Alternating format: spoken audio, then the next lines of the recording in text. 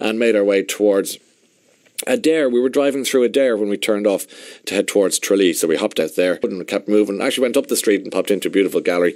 uh, well, a shop really, Draiocht, with uh, where we met Agnes. I want to say good morning to Agnes, who was so pleasant and kind and looked after us and, and gave us a little uh, wander around and uh, showed us the arts and crafts that she has, which some of them were lovely. In, in behind the Late Late Show these days, you might see these robots and uh, old metal cars from the early, mid to early last century and I saw some, I saw a lovely, uh, what looked like a Vespa, and then a nice Mini, and I thought, right, must uh, see if we can find room for them behind the scenes on the late, late someday. But that's just by the by. Uh, we